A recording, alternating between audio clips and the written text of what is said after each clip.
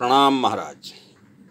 आपके राज्य से विलंबित कर दिया हुआ सिपाही बिन बुलाए आपके सामने फिर से हाजिर और आज मैं जो सुनाने वाला हूँ, आपके कदमों के नीचे से ज़मीन सरक जाएगी।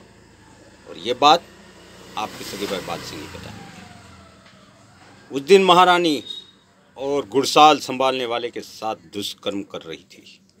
सो हमने देख लिया और महारानी ने भी हमें देखा और आपके साथ राज्य की खींच पीट करा के हमें यहाँ से निकाल बाहर करवा दिया। लेकिन आज ये बाल सिंह भैया ने भी ये नज़ारा देखा, सो हमें बताया तो हमें एक सहारा मिल गया।